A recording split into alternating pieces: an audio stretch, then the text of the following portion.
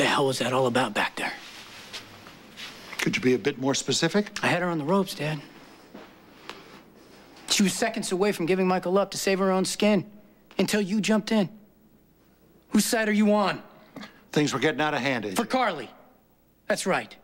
It's exactly what I wanted. Until you ruined it, you and grandfather. It's typical of grandfather. Leave me out of this. You know, the other day, you, uh. You gave me this whole song and dance about supporting me. You told me that you understood how much I wanted my son back. I do understand. Then why'd you stop me? I had her in a corner. She was about to admit what she did. No, she wasn't. You don't know if she did anything. This is a woman who shot a man. Been put in a mental institution, married to a mob boss. And on top of it all, has admitted to pulling the, the plug on Sorrell once before. It doesn't mean that she's going to do it again. What are you doing? Why do you want to help them? You don't even like Sonny and Carly. I think your father has his own reasons, AJ. Yeah? I want to hear him.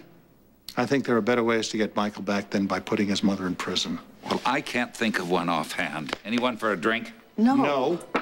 AJ is finally showing some backbone. I say we let him do it his way. How can putting Carly in prison solve anything? She can't raise Michael from behind bars. What the hell's wrong with you people? Did Chloe's death mean nothing to you?